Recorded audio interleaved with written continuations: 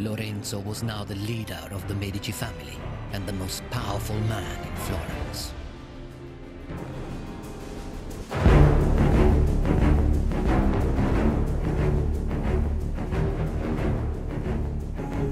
The Medici have been in power a long time by now. They are politically very astute. And I think they've realized that actually the masses, the poor people, can develop their own voice. They can change things. Lorenzo knows that he therefore needs to put something back there. He's just trying to cover all his angles.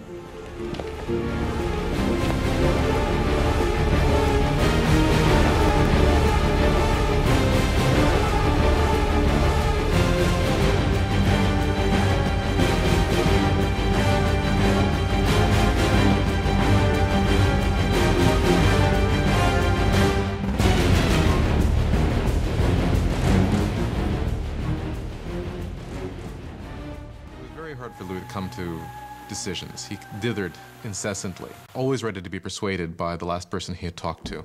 Again, those are usually not considered good leadership qualities.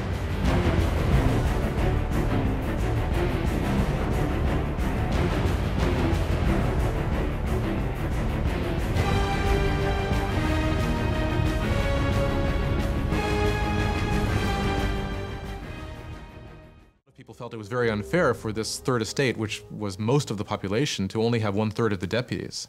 They felt it was very unfair that this should be a three chamber parliament, where two chambers, the nobility and the clergy, could always outvote the commoners. National Assembly is born. It will be a communion of voices from around the country, a parliamentary body enacting the people's will. Louis understands that the revolution can no longer be ignored. It is being brought to his front door. He agrees to sign the Declaration of the Rights of Man.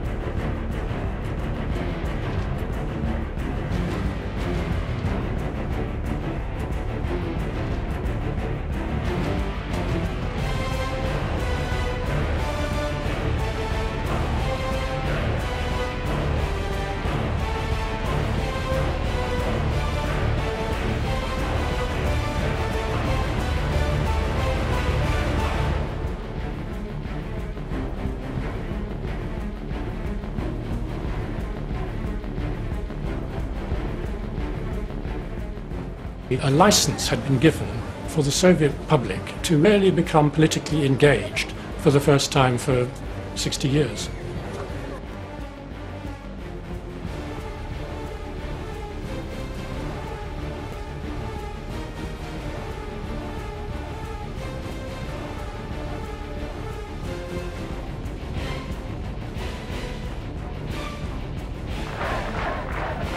The government negotiators gave way to the workers' key demands.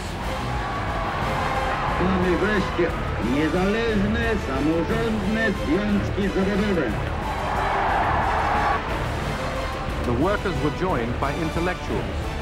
Together they formed a new movement, Solidarity.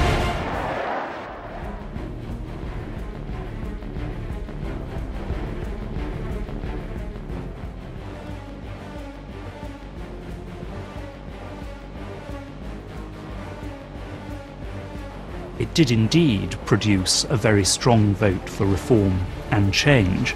Uh, so led to a tremendous mobilization of popular discontent. In various of the republics, this led to a wave of nationalism pointing towards independence from the Soviet Union. In Russia, ties with the Soviet Union. When the Republic started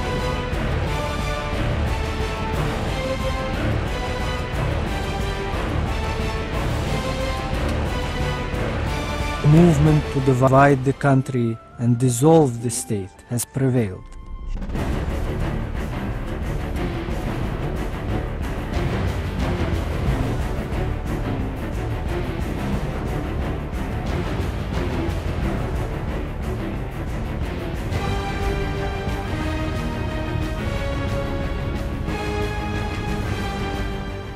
Egyptians face many of the same issues that provoked the Tunisian uprising.